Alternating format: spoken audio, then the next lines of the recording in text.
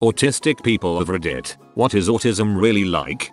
I was diagnosed with Asperger's at the age of 11. I feel like I'm part of a play where everyone has the script except me.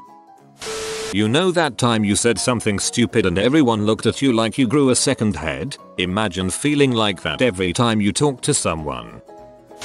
Social interactions that come to others naturally require a lot of thought and planning in my situation. For lack of a better analogy, I have mental checklists for every social event under the sun. For example, I frequent my local nightclub, so my checklist may read as follows. Nice security guard light banter. Don't get startled by the joke nudgy. Jerk security guard ID. Don't hang about. Bar quiet engage bartender in conversation. Ask for cocktail. Bar pack just order. Women animated in conversation leave them be. Women bored lonely looking smiling at me approach and engage in banter attempt pick up line, etc. All this is almost in a robotic voice in my psyche, i.e., not natural at all. Obsessions are amped up from non-autistic people, as are following rituals. Every night when I get home, I have dinner and watch The Simpsons. No ifs ands or buts. If my routine is disturbed, I get moody, but it's not a catastrophe. Of course if I'm not at home, or something comes up, I've learned to let it go. But if possible, I follow the routine to a T. I work as a chef, and my supervisor and I have a certain code word, traffic, that if I mention it out of the blue, it means I need to cool off for a few. I'm getting overloaded here.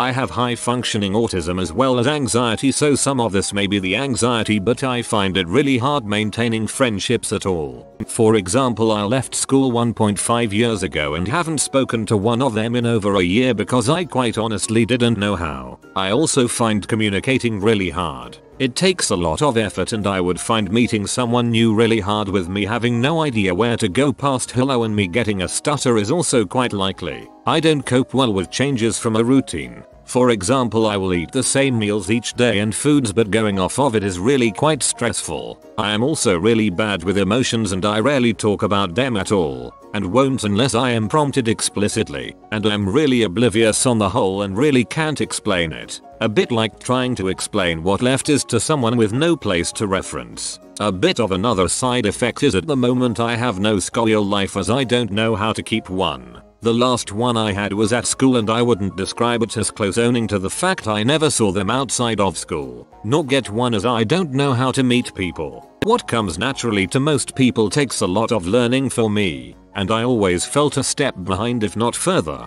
at the moment at least. I would love to be just a normal person and have this sort of stuff come naturally. All in all I would say a bit lonely and frustrating when I notice. I am quite happy most of the time but just the smallest thing can't hit and change that. I am doing what I can to get better but it takes a lot of effort for what is for most people as simple as writing. While I live a pretty normal life I have a lot of issues with sensory sensitivity, like loud noises, bright lights, certain food tastes, smells and standing in crowds of people. These things make me feel a bit stressed out resulting in various issues like headaches and digestive problems. While we're on the subject, certain non-autistic people have the misconception that those of us on the spectrum would lack empathy. That is simply not true. We often have a hard time to read people, but we certainly do not lack human empathy. That needed to be said. I actually think that we have too much empathy. I oftentimes get visibly upset when I feel I hurt someone. My go-to analogy is to imagine being in a country where nobody speaks English and you don't speak their language. You don't have a phrase book but you do have a translation dictionary. So you are speaking the words but the syntax is way off, not to mention accent and pronunciation.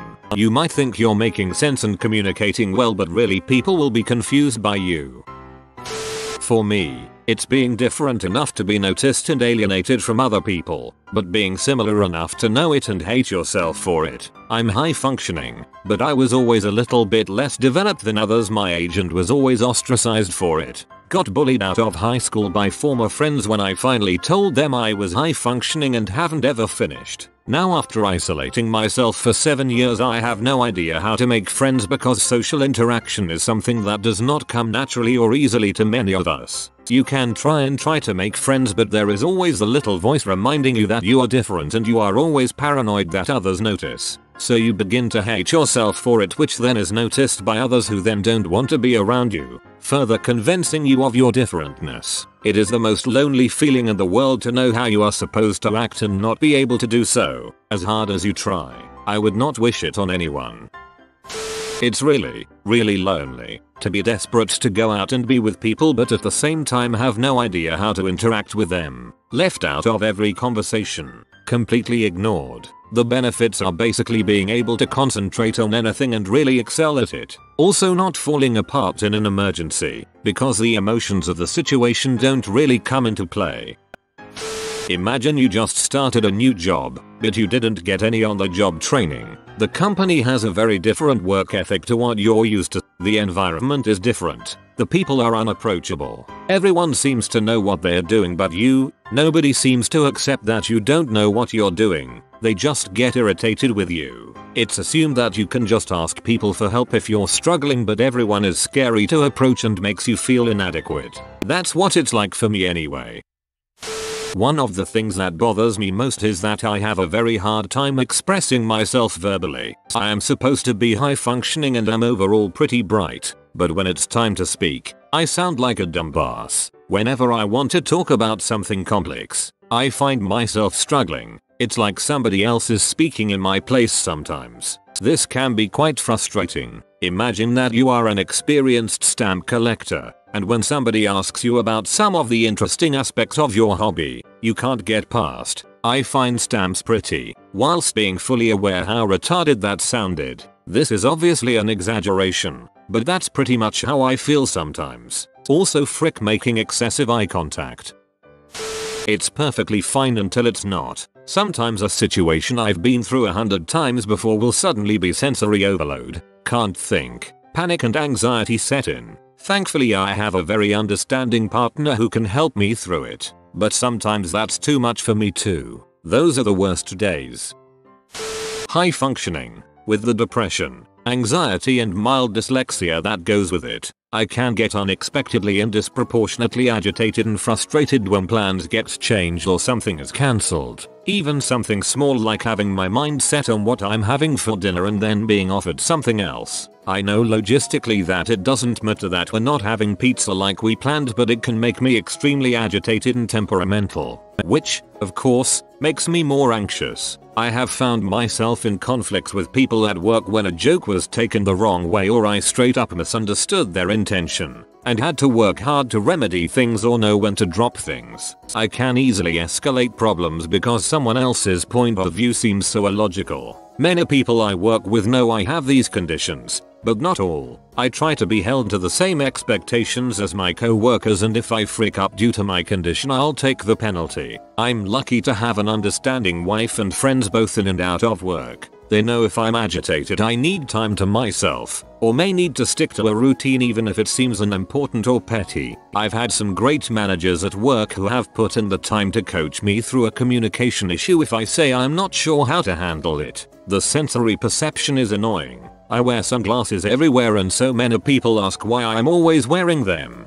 Tell me it's not that bright. If we're at a pub or club or anything with a lot of chatter I might as well be wearing soundproof headphones for all I can distinguish. On the other hand my obsessive interest in film makes me super knowledgeable for my current profession. It's not uncommon for people to ask how I know so much about movies, comics, TV and whatnot. I seek out and retain a lot of information when I'm into a topic. As my, also autistic, son calls it, we suck it into our brain for later. It's not much fun seeing how the term autistic gets thrown around on Reddit these days. It's become an all-encompassing insult for anyone who appears antisocial, dumb or in disagreement with the larger population. Not much can be done about that though.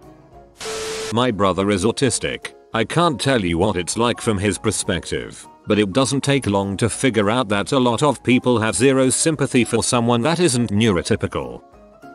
I'm high functioning, and from what I can see I'm really lucky compared to some others. I do have the habit of being rather extravagant. I look back at some of the things that little Lord Charco did and want to garrote him, only slightly exaggerating. In all honesty, when I have things that I like or am even slightly interested in, I'm into them in a major way. Normally, we're talking video games. When I was in my Portal 2 phase, I wrote a short story about it in class. That same year, I was also in my Skyward Sword phase. We were asked to choose an artist and research them. I chose Yoshiaoki Oyama, the main artist behind the art style in that game. This obsession type of thing can be found in other areas, which makes being a teenager way harder than it needs to be. Sentimentality is a good way of describing this. Right now, I'm in a holiday house that my family frequented for a few years. One of the things I did when I was here was that after dinner, I would go down to a corner store not too far away.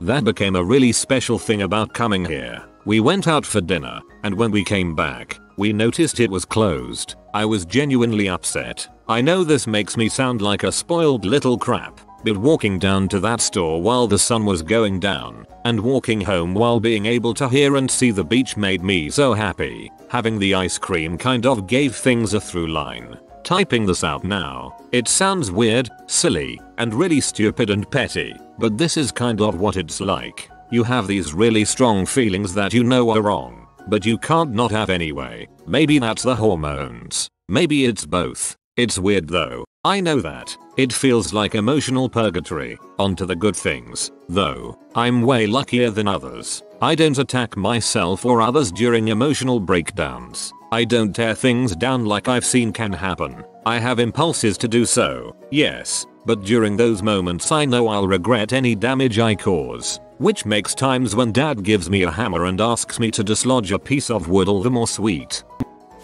High functioning, so maybe I'm not getting the full experience. Eye contact is tricky. It's not so much that I hate it or it's uncomfortable, I just never think to use it. But also when I look people in the eye it feels oddly confrontational. Never quite understood eye contact. If I'm highly stressed, I shut down. I'll seek out a corner and stare at the floor. I've gotten better about speaking up and letting people know. When I was little I had no idea how annoying I was. Every question the teacher asked I was flailing my arms begging to be called. I would get in trouble for playing too rough at recess. Whenever the counselor would talk to me I'd burst into tears. I'm pretty bad at small talk. Even if someone just asks what's up I try to think of something witty instead of not much and an awkward moment will pass. I'm not great at talk in general either, or in sounding confident about what I say, not because I'm not confident in the words but I'm just not confident in saying them aloud. Nowadays I try to study people to get an idea of what I should be doing to fit in properly. I'm definitely an odd mix of logical and emotional. Also, cuddles and hugs are crack to me, which I know that autistic people are extra big on touch. Sometimes I'll stim, flail my arms, if I'm excited or hyping myself up or trying to stay awake but only when I'm alone. You have been visited by the blanket pig upvote for good night's sleep for the next lunar year. Thanks for watching. If you are new to the channel, you can subscribe. I publish new videos every day. Until then, check another video. Or don't. Either way, have a great day you magnificent people.